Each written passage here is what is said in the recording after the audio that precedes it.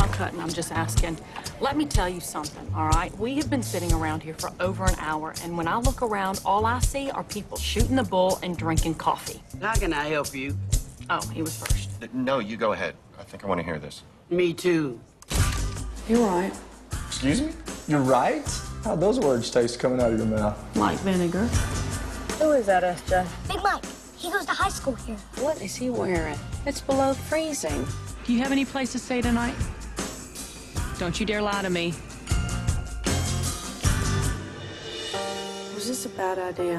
What's the big deal? It's just for one night. It is just for one night, right, Leigh Anne?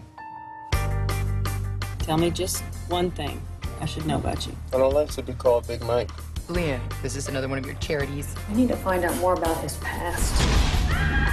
He's been enrolled in seven different institutions. His grade point average begins with zero. He needs to do better in school. I'd love to work with him. This is mine? Yes, sir. Never had one before. What, a room to yourself? A bed. Michael's grades have improved enough that he can go out for spring football. How's he doing? Haven't quite gotten the hang of it yet. It's all real nice what you're doing, but don't be surprised if one day you wake up and he gone. I heard you got you a new mama now. She fine, too. Michael was here. Tell him to sleep with one eye open. You threatened my son. You threatened me. Sandra Bullock. We're in the middle of practice, Leigh Anne. You can thank me later. This team is your family, Michael. You have to protect them. Tony here's your quarterback. You protect his blind side. When you look at him, you think of me. Yes, ma'am. SJ, you're going to want to get this.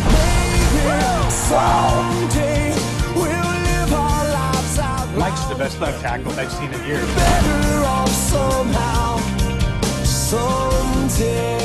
You're changing that boy's life. No, he's changing mine.